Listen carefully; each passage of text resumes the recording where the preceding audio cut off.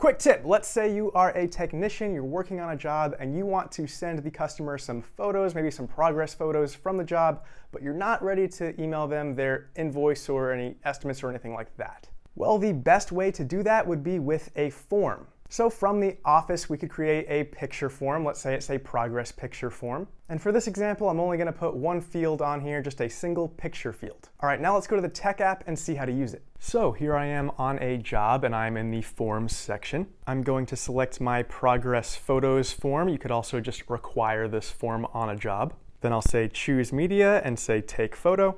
I'm not on a job, I am at my house, so I'll just take a picture of my cat.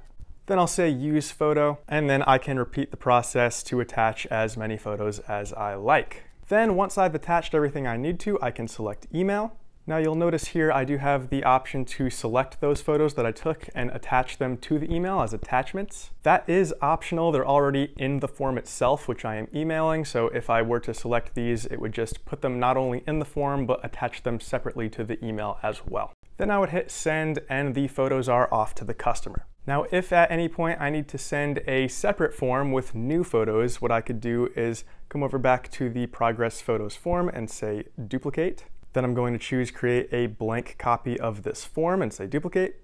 Then I could name it. Let's say I'm calling this day two or something like that. Hit save.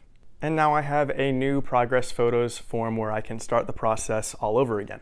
And here's what that email looks like to the customer. So this is an example where we not only sent the form, but also attached all of the pictures as separate attachments by checking them off. But if you don't do that and you just send the form, then they'll only have this PDF attachment here and they can open that up and then here's what that would look like. All right, goodbye!